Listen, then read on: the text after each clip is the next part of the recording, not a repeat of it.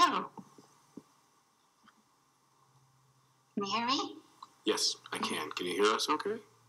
Yes, I can. Very good. Okay. Go ahead and raise your right hand. Do you swear or affirm the testimony you're about to provide is true and accurate? I do. Thank you, Mr. Jorde. Thank you. Um, can you please state your name?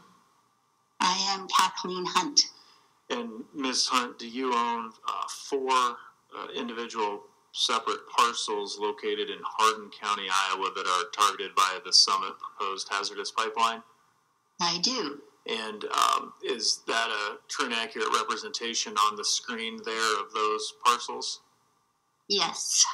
And ma'am, did you cause to be filed in this docket what's known as pre-filed testimony with questions and answers as well as some attachments and exhibits?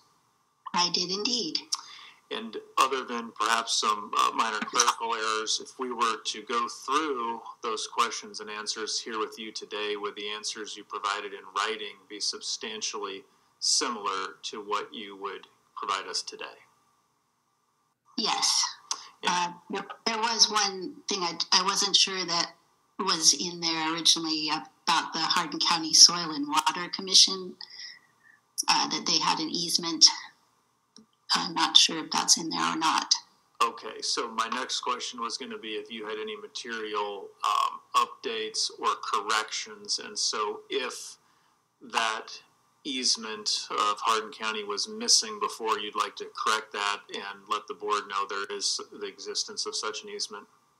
Yes, please. All right, very good. And I guess, uh, do you know where on your ground that easement is? I'm not exactly sure, but I uh, believe it's near where the, the creek is and where I have two bioreactors, which is what it's for, is for them accessing the um, nitrifying bioreactors that were put in place last year. All right, very good. I, at this time, on Ms. Hunt's behalf, will offer landowner exhibit 230, 231, 232, and 301. Are there objections? Uh, just to clarify, that's the pre-filed testimony and pre-filed exhibits one through twenty-three. Let's see, I think I gave one wrong number there. Let me double check. 230. Yes, so 230, 231, 232 are the exhibits. No objection. Seeing no objection, the board will admit, give the way to. Thank you. Uh, and ma'am, at this time, some other folks might have questions for you, okay? Yes, Thank great. you. Mr. Taylor? Thank you. Uh, ma'am, I'm Wally Taylor. I represent the Sierra Club. And um, first of all, this um, easement that you've mentioned, the Hardin County Soil and Water District has that? Yes. And, uh, Go ahead. yes, uh, they have an easement to access my bioreactors that we put in place for uh, helping to uh, water purification, and the runoff into the creek. Okay. What are these bioreactors in relation to the Summit Pipeline route? Well, that's what we're not sure of because we haven't really gotten a layman's terms kind of map. So even the Hardin County Soil and Water Commissioners voted to object to this pipeline path because of the vagueness of its route. And uh, my tenant and I both are not really able to understand where their proposed path would precisely go. Okay, can you see the map that's on the screen? Yes, Okay, and that white line, more or less vertical through your property, is what the summit says is their pipeline route. Is that your understanding of where the route would be? Well, I I think they've changed it since our first conversations. I'm, uh, yeah. I mean, I guess that looks like what they want to do. Okay, So using this map, where would the bioreactors be? There is one in, it could be right where it's going across the creek there. On the Uh, south edge of your property?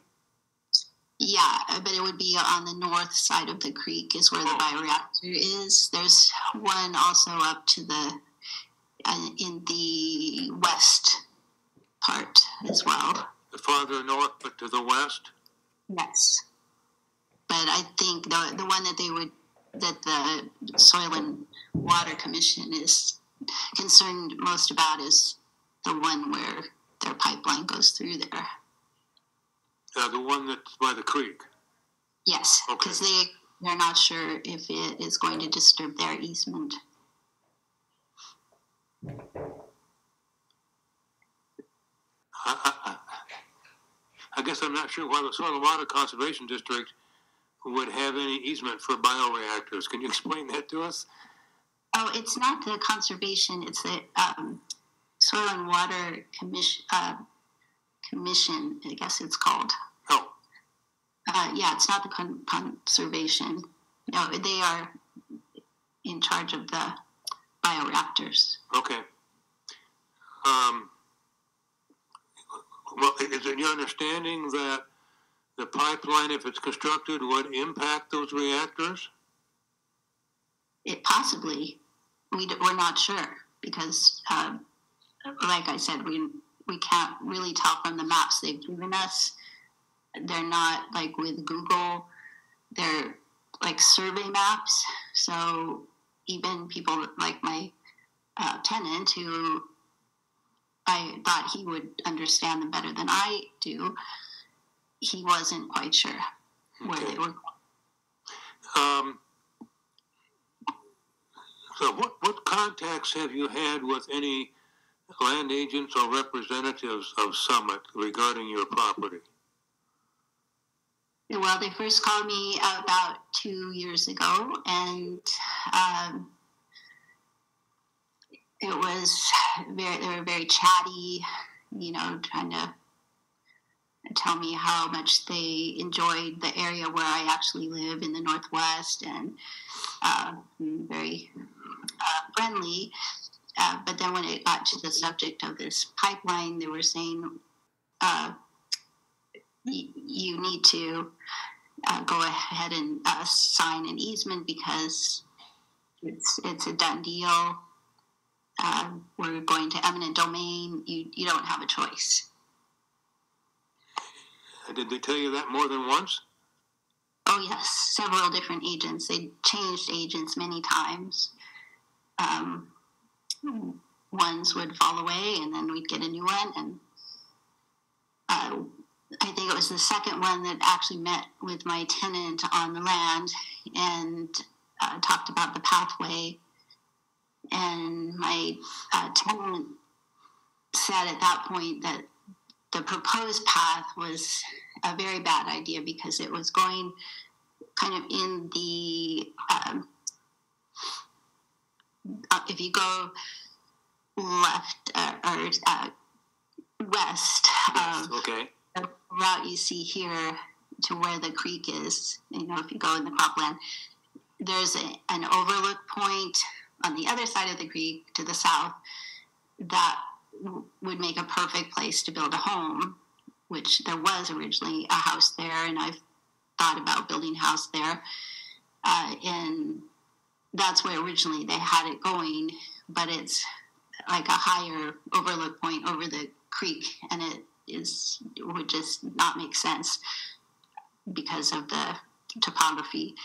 And the agent at that time admitted to my tenant that they hadn't really done any topographical studies when they made this route and agreed the agent agreed that it should indeed be moved to where it is now uh, which was my tenant's suggestion Um, do you know if Summit has done any surveys for um, geological, archaeological, uh, environmental studies? I don't know because since I'm a long distance landowner, I can't tell if they've actually been on the land. At a certain point, I, I said I did not want them to do any surveys on my property, but I don't know if they did or not, since I, my tenant can can't monitor it all the time since he doesn't live there. Um, but I do have archaeological sites uh, registered on my land. I have four different ones that are from the um, peoples that lived in uh, 2000 to 1500 BC uh, that were probably camp or work sites for those peoples. And so that's another thing that concerns me of disturbing those places. Uh, uh, do you know where those would be in relationship to the pipeline route? I'm not sure. Um, I, I'm not sure if they actually would cross those in where they are now, but my understanding is that they can change their path at any time um, since they're not fixed in the easement contract.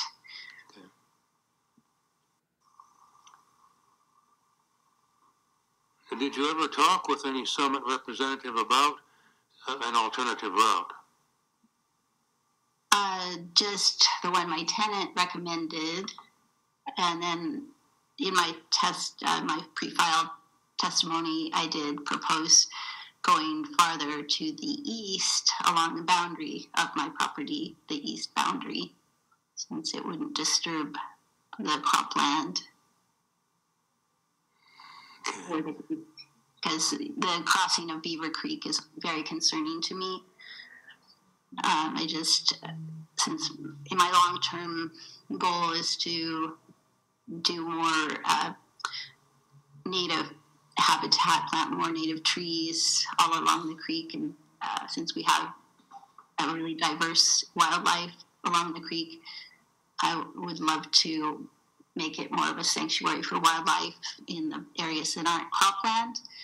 And I'm afraid that it, this easement will prevent me from, you know, doing any kind of tree planting or anything that is good for the climate, which is really my goal to um, make it a more sustainable, ecologically diverse land. So you would uh, plan to expand the natural area on your land in, in addition to preserving what you already have? Yes, yes, and actually make it a wildlife sanctuary. Okay. Um, I mean, not just not getting rid of all the cropland, but you know the parts that are less productive. You know, I have some CRP as it is, and uh, just doing more to bring it back more to the native uh, way. do you know whether or not, uh, if, if the pipeline were constructed, that that would um, adversely affect your CRP land or your your uh, a qualification for CRP?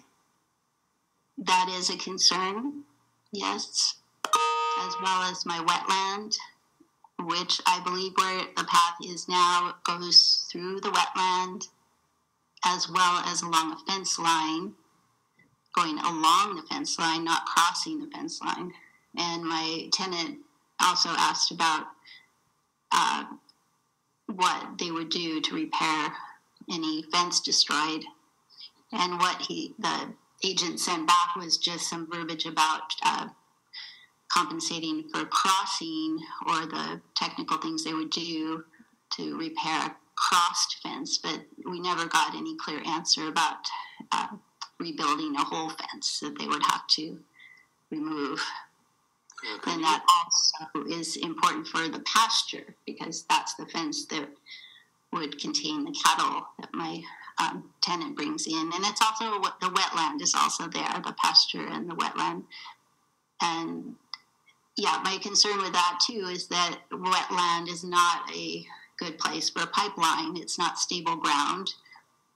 My soil tends to be generally sandy, which it's you know, the safety, the hazard of this pipeline is of the biggest concern. And um, just that we have no ability to get liability insurance for this. It's it just is so com- complex with fraught with terrible scenarios. Okay. Um, where is the wetland in relationship to the pipeline route? Near the creek, it uh, is just to the north side of the creek there. If you look at the bottom, Okay. Um, yeah, uh, keep going up with your curse with your arrow. Yeah, a little higher on the other side of the creek, up where the pipeline is, okay. up Alright. onto the uh, north side of the creek there. Okay. Um, uh, if, if we can zoom out a little bit, it looks like there might be some occupied structures, at least fairly close. Um, is that true? I'm not sure about. I I don't really know my neighbors. I, We have a structure that's more of a cattle shed, um, machine shed. Okay. That's by farm entrance. If you go over to the east, uh, southeast, yeah, right there. Uh, yes, So that's a cattle shed, yes. and are there cattle in there? No, not uh, generally. Okay. All right. Uh, thank you. That's all the questions I have. Others may have some questions for you. Hey, thank you. Ms. Colas?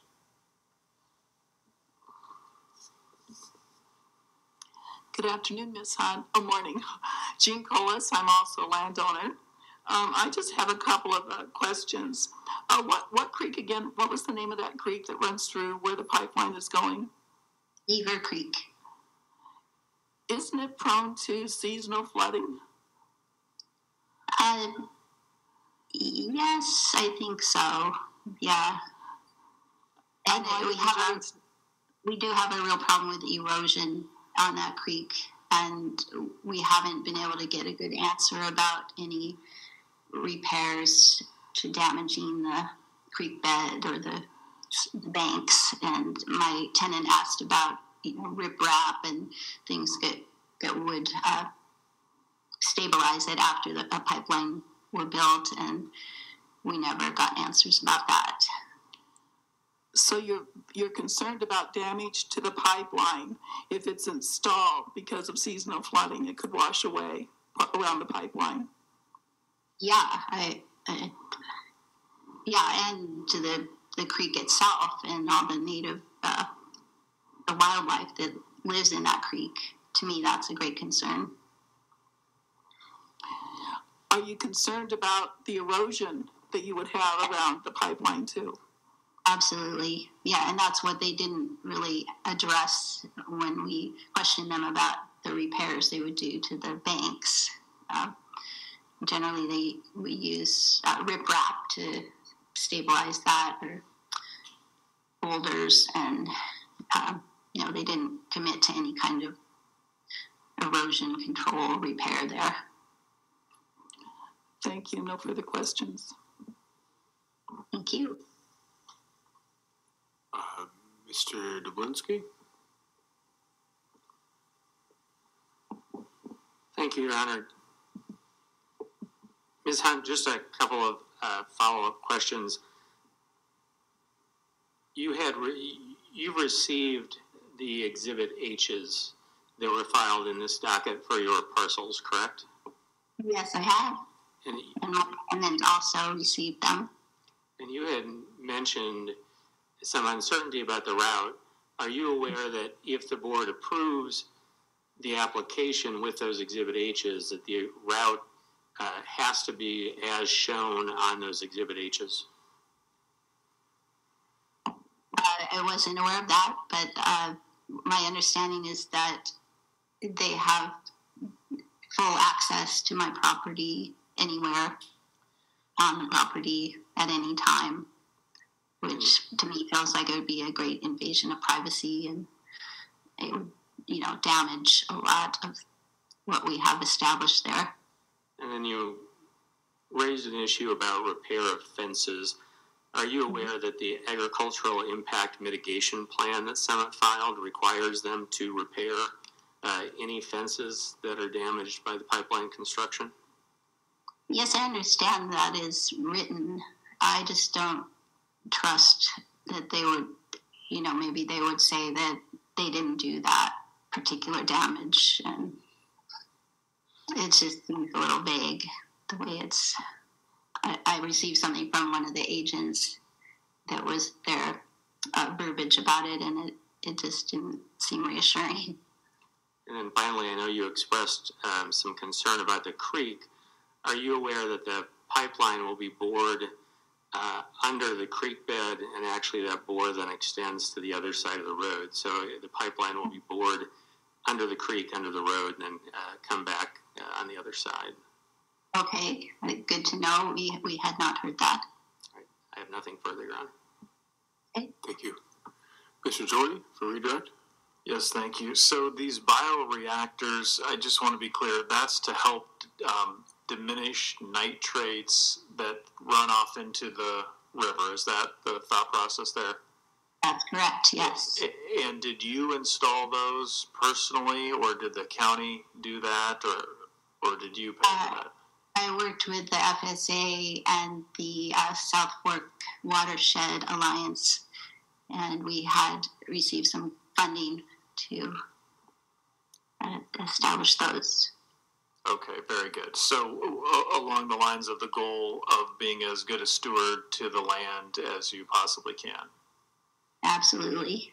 Yes, I'm always working with the FSA to see what can be done to make it a more sustainable farm. And uh, right now, we're waiting for some uh, funding to do some grass waterways, and that's another thing. We're worried that this pipeline might prevent us from doing some of that mitigation. That uh, a spot where water drains into the cropland and causes erosion in the northern part of the map there. Um, and we're afraid that we won't be able to uh, put that grass waterway above the pipeline path. And, and so, in, in essence, the worries that the, the pipeline, its existence, its operation and construction would be inconsistent with um, over the years how you've spent time and money preparing your uh, property to be as mo- as natural as it can be. Yes, absolutely.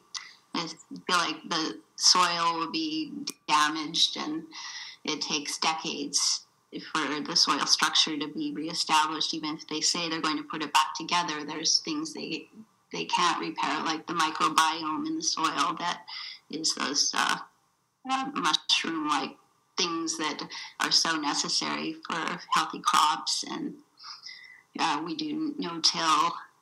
Uh, yeah, we've done, you know, just try to do everything we can to, you know, help toward the climate issue, which they claim, Summit claims to be doing something for, but as many landowners have pointed out before my own testimony, um, it's just very negligible what kind of impact it would make a long term.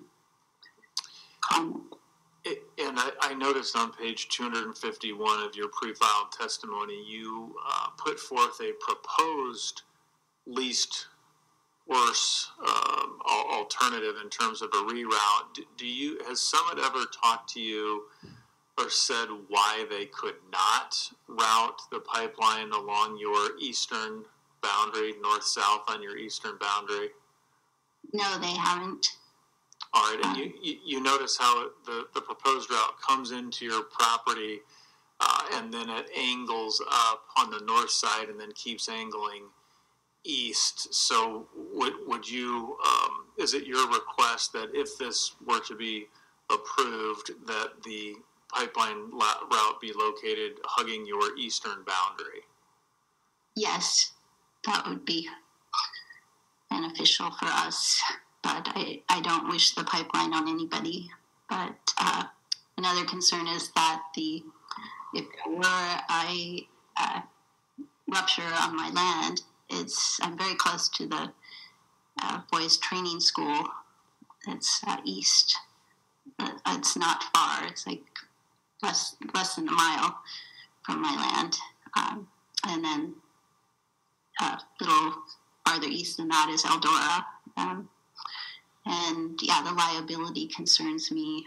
Just then uh, suffering and injury to life and livestock and the land, the soil, the water. It's just horrifying. When you referenced the Iowa State uh, training, pardon me, training school for the boys, for the record, what goes on there? Um, it's a uh, school for juvenile. Uh, I I don't really know so much about it. I, my grandmother used to work there, um, but I know there's you know people there, quite a few people there, you know during the daytime, and I'm not sure if they live there or not. I haven't researched that, but I know that should be of, of concern. All right, very good. I, I don't have anything further, ma'am. Thank you for your testimony. Thank you, Ms. Hunt. You are excused. All right, that brings us to noon exactly. So we will be off the record for about an hour uh, for lunch, and then we will be back with. Are we? Are we staying on the same schedule? Okay, great, Correct. Rhonda Aikman would be next virtual. excellent. All right. Well, we will see everybody in about an hour. Thank you.